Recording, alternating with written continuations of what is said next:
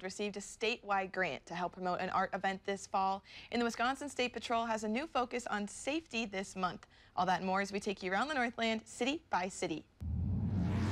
We start in Two Harbors, where Heritage Days kicks off tomorrow. The fun starts with the medallion hunt, and the winner will win $100. The event continues until that medallion is found. Other Thursday events include the Kiddie Parade and a performance from the Two Harbor City Band. Friday features the golf tournament, vendors to shop at the community center, and music all day and night. The Lutefisk Toss will be at 4. Saturday and Sunday feature more shopping, live music, a car show, and so much more. The parade will be Saturday at 1 p.m., but we'll have the full Heritage Days lineup on our website. And next we head to Bayfield, where the Wisconsin Department of Tourism has awarded a $20,000 grant to the Bayfield Chamber and Visitor Bureau. The money will be used for promotional efforts for the second annual Art Escape this fall. Last year's inaugural event brought 9,000 people to Bayfield and Madeline Island during the nine-day celebration.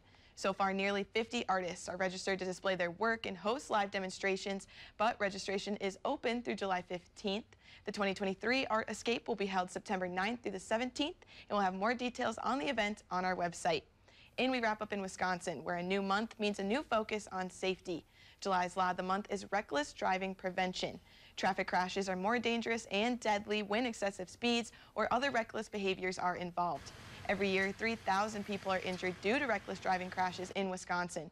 Charges for reckless driving include speeding, improper lane changes, aggressive driving, running red lights, and more. This spring, the penalties for reckless driving increased to $400 for a first offense.